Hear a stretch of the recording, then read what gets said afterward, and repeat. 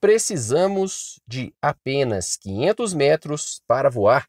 Bem-vindos a mais um vídeo do canal Geomilitar BR. O tempo vem passando e as capacidades do Gripen vêm sendo exploradas e principalmente divulgadas pelo fabricante, pelos utilizadores na mídia especializada e também na mídia comum.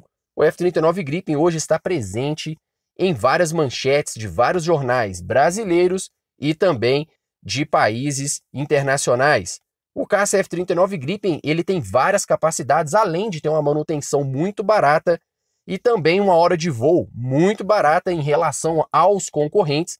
O F-39 Gripen também realiza um feito que não é só ele que faz, mas pouquíssimas aeronaves conseguem realizar o fato.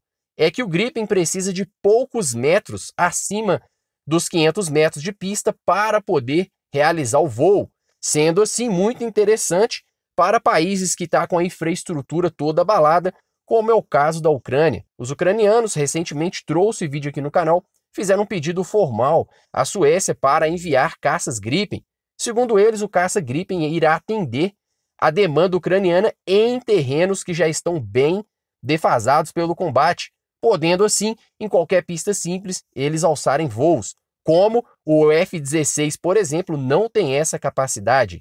Sendo assim, o F-39 Gripen pode, num futuro próximo, ganhar mais clientes justamente por essas funções que o avião possui desde o seu projeto JAS 39 Gripen lá atrás, na década de 90. Depois vieram versões modernizadas como o Gripen C, o Gripen D e agora o Gripen NG, que quer dizer New Generation ou Gripen E, como é traduzido aí em muitas nações. As capacidades do Gripen cada vez são mais testadas e vem uma aprovação juntamente com o fabricante para que esse avião possa realizar sim voos tanto em temperaturas abaixo de zero quanto em locais mais quentes, conseguindo alçar voo em pistas a partir de 500 metros. Isso é um fato muito interessante e coloca o Gripen aí podendo então ser operado em qualquer lugar do mundo e em qualquer estrada comum, tendo ali uma linha de 500 metros ou mais, essa aeronave já consegue realizar o seu voo.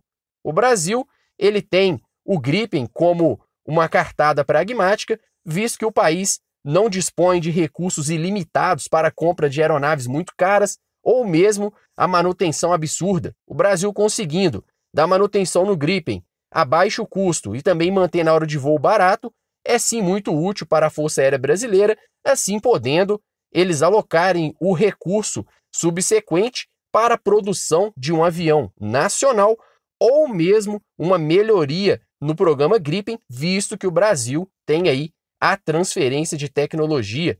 Tecnicamente, podemos ainda, no futuro próximo, ter um avião de treinamento baseado no vetor que faz também a mesma função, podendo aí decolar de pistas comuns e evitando aí o excesso de logística. Muito obrigado e valeu.